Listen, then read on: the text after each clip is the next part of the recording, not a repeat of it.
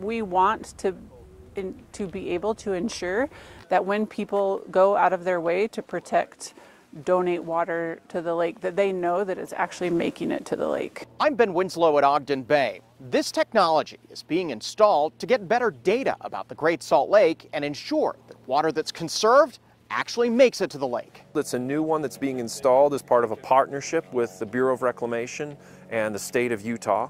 Here on the North Fork of the Weber River, scientists have installed a new stream gauge. So you can have real-time values that are a little bit high. It provides data on water flowing to the Great Salt Lake. We're thrilled with these new stream gauges because I think it helps us better understand how water moves through Great Salt Lake Basin.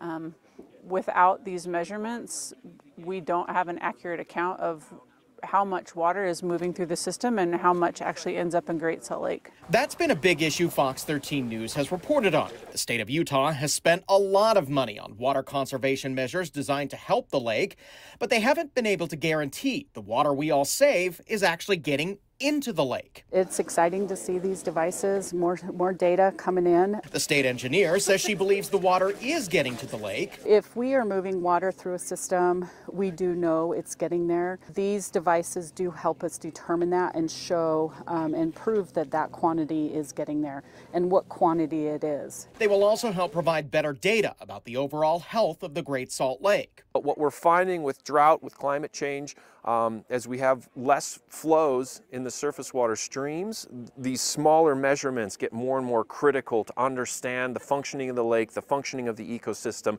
the functioning of salt, salt balance in Great Salt Lake. The lake has now dropped back down to 2021 levels. That's right before things got really bad and the lake hit a record low.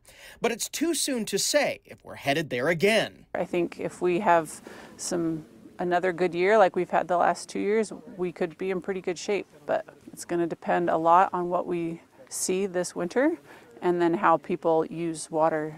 Over the next five years, more of these stream gauges will be installed around the lake, and this data will be available publicly for you to see. At Ogden Bay, Ben Winslow, Fox 13 News, Utah.